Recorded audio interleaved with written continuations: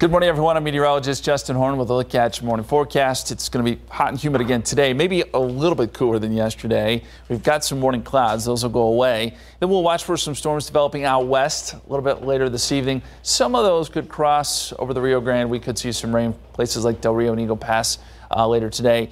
And some of the models hinting at uh, perhaps holding together all the way to the I-35 corridor. Chances of that are low, but it is possible. We'll keep a slight chance of rain in overnight. That'll be the case tomorrow, too. We'll have to see where some of these outflow boundaries end up. Uh, but basically, isolated stuff next couple days. Uh, there is an outside chance of some stronger storms for our western counties this evening. Marginal risk, so it's low end, but it is there. Going forward, uh, just isolated storms next few days.